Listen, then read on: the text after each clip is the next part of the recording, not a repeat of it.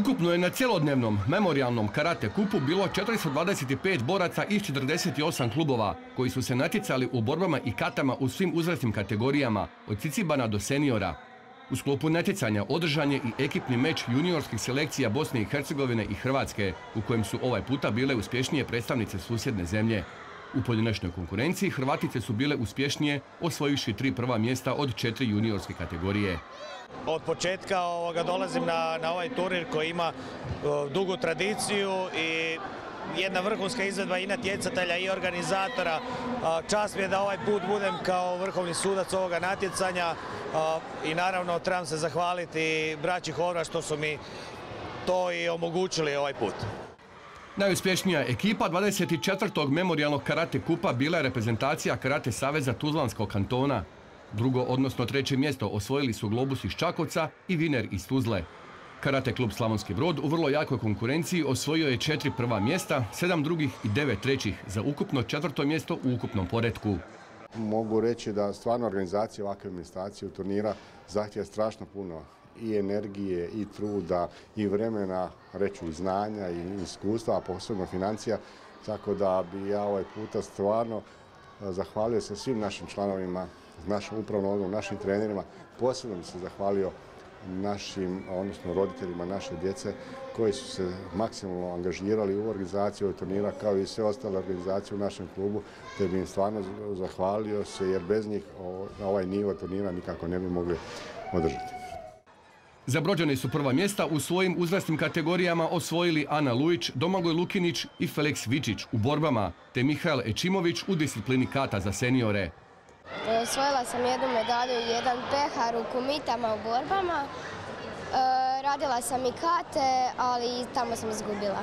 Bilo mi je dobro i bila sam baš opuštena za razliku od svih ostalih turnira. E, moj cilj u karateu je osvojiti puno zlata i pehara i biti jako dobra.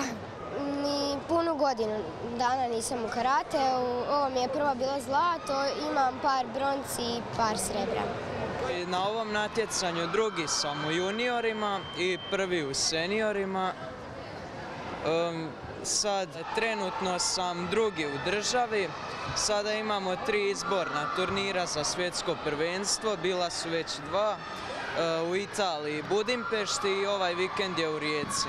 Pa nadam se u Rijeci da ću e, dobro odraditi i otići u Španjolsku.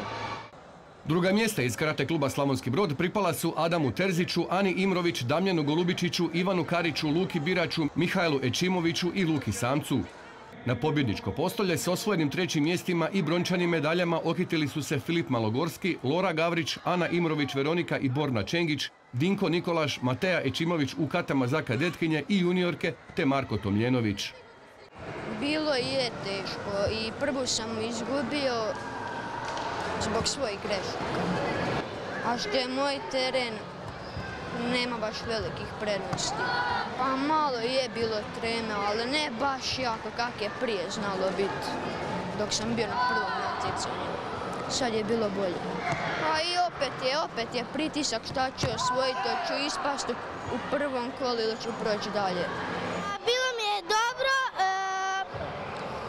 Počeo sam prije dvije godine trenirati i svidjelo mi se zato što mi je brat počeo trenirati karate. Išao sam na puno natjecanja. Imaš li nekih rezultata? Imam. Koji? Imam e, puno rezultata. E, moj e, cilj na karate je da osvojim prvu medalju, da budem prvi. Ukupno su članovi karate kluba Slavonski Brod na domaćem turniru osvojili 20 odličja na jakom natjecanju što je potvrda dobrog rada u klubu. Već ovaj vikend u Rijeci se održava posljednji izborni turnir u katama za odlazak na svjetsko prvenstvo koje je na španjolskim Tenerifima krajem listopada. Vrlo ozbiljan kandidat za nastup na svjetskom prvenstvu je Mihael Ečimović, dok realne izglede imaju Ana Imrović i Mateja Ečimović.